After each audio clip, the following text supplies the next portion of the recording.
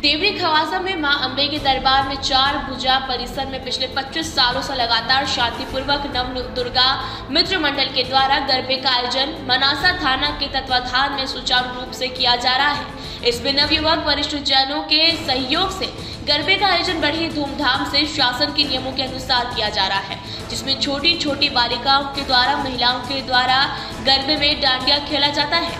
वहीं नव युवकों के द्वारा भी डांडिया खेला जाता है।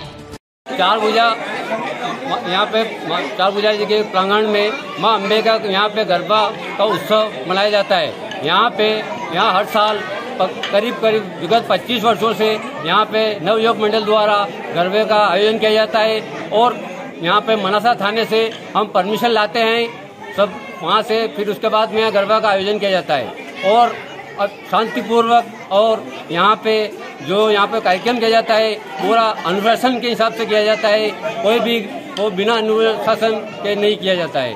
और यहाँ पे गाँव के पूरा, गाँव के सहयोग द्वारा सहयोग किया जाता है और यहाँ पर ये पत्रकार महोदय और लाइट डेकोरेशन का पूरा हर साल यहाँ पे सहयोग रहता है।